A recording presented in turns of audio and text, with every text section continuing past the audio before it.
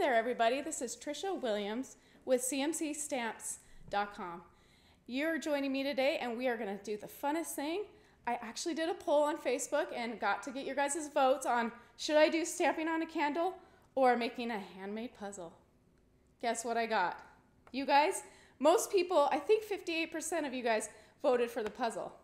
So that's what we're going to do today. Okay, you can see everything that I used to make my stuff. So pulling this up, I used the Animal Outing, which you can find on Stampin' Up, and I will have a link for you to shop and buy it below. You should totally get it. It's awesome. Okay, then I used these cute little pizza card boxes. Do you see that one side is shiny and the other side is kind of matte? They do that on purpose. You can actually put food on this side. So I tend to put this shiny side on the inside. And see how you fold it up? And this is kind of what it looks like. And then you can close it. And then all I did, you guys, was with a little bit of multi-purpose green glue, I was able to adhere this onto the top of my box, and this is printed from my computer. After my, my puzzle's together, I take a picture with my iPhone, print it out, looks like this, and then I cut it with my cutter. So you are making the box that it goes in, and you are making a handmade puzzle for you to do with your kids, grandkids, anybody you want. Okay, so let's get started. This is really deceiving. I have it on a piece of paper, but that's actually my puzzle put together. So hopefully you can see it up close. Make sure I'm in view. Yeah, I'm in view. Okay, so let's go ahead and get started. I'm going to move some of this stuff out of my way that I just don't need anymore. Okay, things that I need are my Memento Tuxedo Black ink, two of the stamps, oops, excuse me, two of the stamps that come in the stamp set, and I need my piece of paper that I was stamping on, which is right here. Okay, this is the thick white cardstock. You want thick because if you don't, it's flimsy, you can't pick it up, it's gonna break. You want thick, and believe it or not, you guys, I did two layers of the thick because it made it extra easy to pull up your puzzle. Okay, this is what it looks like. Of course, I've cut it and used a bunch of pieces. Comes with 24, and it's Whisper White thick cardstock. Once again, I'll put the link to everything below. Alrighty, so let's go ahead and finish the rest of my background. Gonna open up my memento, ink up my stamps, and you'll see that I pre-stamped a couple things for you already. Just trying to save you some time so you don't have to see me do all of it on camera. And see how I stamp off, so you're gonna want a piece of paper underneath you. Okay.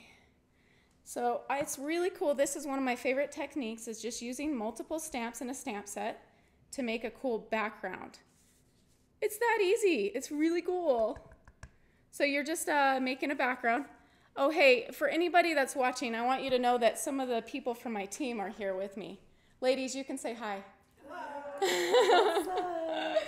I got an audience already here live. Okay, so you see how I finished stamping that with my Memento black ink. And next I'm going to color. Mm, what should we color? Let's color the kangaroo. I think it's the hardest. Look at all the colors I used for the little kanga. Okay, I brought my bronze marker that's a Stampin' Blend, and I used the fine side. And you notice that there's a thick line here, thin line. This is our thick side and our thin. And it's a little easier for fine coloring. And I'm just to color in my little guy. I'm not going to color all of this for you guys because you get the drift, but I'm going to show you kind of how I did it so it's easier for you at home. Okay, so I get him in first. Then I grab my lightest color, which is the light crumb cake Stampin' Blends from Stampin' Up. And I'm going to use my thin side again. You can always use your thick if you ever want to. And I kind of just start where I want the dark color going the darkest first. And then as I'm going up, it's going to be a little bit lighter. There's going to be some spaces that I might not even color.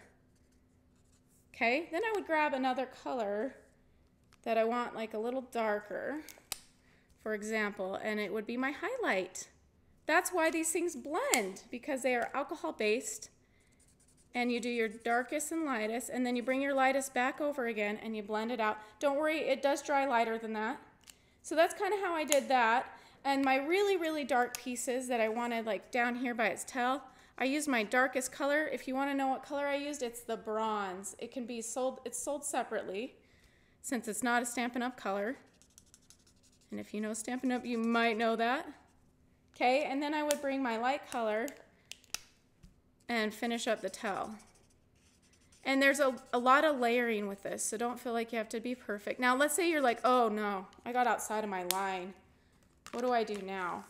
Well, you bring the color lifter. I love this thing. It's sort of like an eraser of Stampin' Blends. And let's say you got some outside of the line, well, just color over it. Don't overcolor, let it dry, and ta-da, magic, it erases. Okay, I'm not gonna do any more coloring for you guys, but um, you can see, let me pull up this sample again. I'm gonna kind of show, I will put up the colors that I used on the blends so you're able to purchase the exact ones I used. I Once again, I did the light and then I did the dark. And I also did very light pool party. Let's see if you can read it. A light pool party Stampin' Blend on the background and I used my color lifter like crazy to blend it in. So it kind of has like a really cool look to it and good. You guys can see it. Awesome. Okay, let's go to the next step.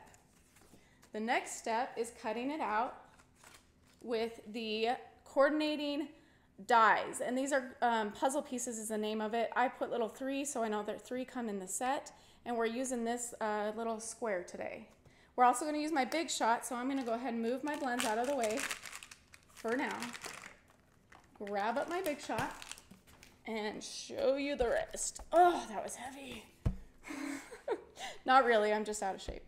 Okay, now, I wanted to show you guys, because I haven't finished coloring this guy, I did color one with my son today, and he picked out all the colors. My little four-year-old son picked out this cute little monster colors. This is a, a, stamp set that has been around, no longer gets sold by Stampin' Up, but um, he really wanted a monster. Okay, can I show you, tell you a backstory of how I started to do these as I'm getting everything set up for you? Um, my son actually was the reason that I started doing these puzzles. I'm going to show you my other samples that I have. He was like, Mom, he saw my dinosaur stamp set before it retired. It just barely did. Didn't it? I think it did. Okay. I think the dinosaur stamp is no longer in the catalog, but my little son goes, Mom, can we do a dinosaur and, and puzzles? Because he saw me have the puzzle piece die cut out. And that's how I got my idea. See how all my pieces are in my box? And then I just uh, printed out the top, and there we go. Now I have a box that we can pull out later. And just so you know, he's done every single one of these stamps, or these puzzles with me. This is one of my favorite. I love this sweet little um, wedding dress on this one. And I did stamp it again with the stamp, or I inked it with the blends. And then I stamped uh, one other stamp set there. I think that saying no longer is current, but the, this sweet lady is current in the catalog. Okay, Butterfly, I think just barely left, but they have a new sort of butterfly, so you can do that. And I believe this one's still in there. Let's let the adventure begin. It's like tree house, pretty fun. And then this one's an old one, but a goodie. I just, I just love it. All the little animals. So let's go back to cutting. Okay, you're gonna bring out your die cutter and you're gonna have your cutter side down and then you're gonna have your little monster up so you can tell where you want them to cut. And then just line them up so that you see your little saying hugs and he's all in the line. And you know what is really cool about the white cardstock? So it's, it's the same kind of size as a regular paper. You can actually cut it three times and make three puzzles with one page of cardstock. I thought that's pretty cool. So if you're gonna do this for a class, if you're a demonstrator, you can make lots or if you're gonna do it at home, just puzzle away. Okay, let's run it through the big shot. How you know I normally do it with two layers of the cutting plates on there. And then see how cool this is? Okay, so let's say I have a box. I would like kind of punch them out and put them inside of a little box. So all I'm doing is punching them out. I don't even know if I was on frame for that. And then you keep all your pieces in another puzzle box. For now, I'm just going to move this. Okay, so now look at this. Pull this back out because I told you that I made mine layered so that it's a thicker puzzle piece. You just run it through on your extra and put it all the way through. Okay, we're done with the big shot.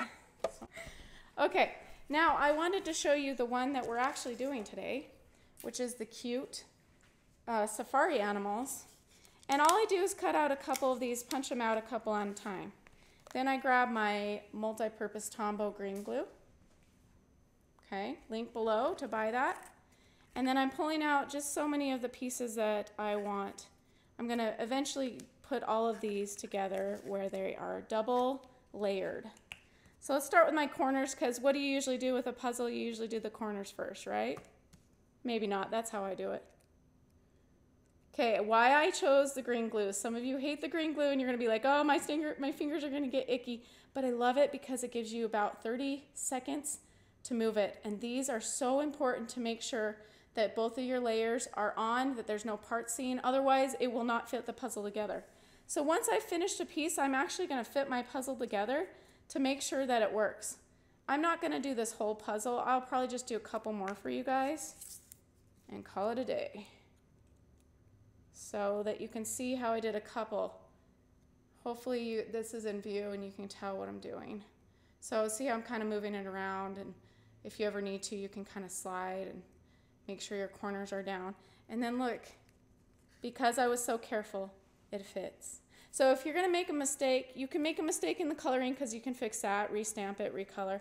But try not to make a mistake on this level, it's really frustrating. But if you do, grab your scissors out and you can kind of trim. You're gonna want your black paper trim scissors that Stampin' Up! sells, and you can trim away the edges so that it will fit.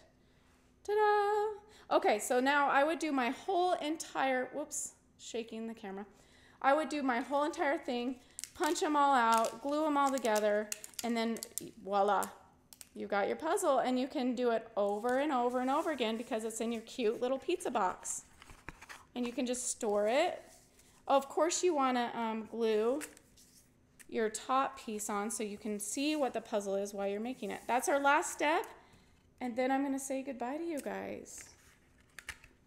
This was really fun to teach you guys today. I hope you can make one. And if you do, put a picture down in the comments. I want to see what you make with it. Use any stamps that you have, but it definitely would be fun if you could use this cute little safari animals and make one of these with your kiddos, with your grandkids. So a little bit of green glue because once again, I like to slide it into place. Ta-da! Voila! We are done. I think I showed you everything. I did. So bringing out my stuff again, you're to want the animal outing stamp set. You're to want a pizza box, your Whisper White thick cardstock, and your die cutters. Okay, so hopefully you can see.